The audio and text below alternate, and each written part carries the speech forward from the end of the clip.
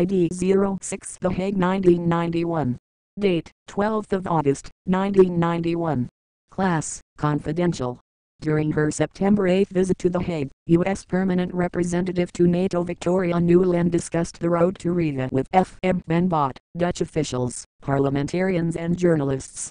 Nuland framed discussion with three top summit goals 1. Progress in Afghanistan 2. A constructive heads of state dinner, and 3. The Global Partnership Initiative. Dutch interlocutors agreed with the need to demonstrate progress in Afghanistan, and offered to work with NATO Secretary General Jaap de Hoop Scheffer and other allies to choreograph the heads of state dinner. Dutch officials support the Global Partnership Initiative, but have some reservations with the explicit use of the word global and cautioned against moving too fast.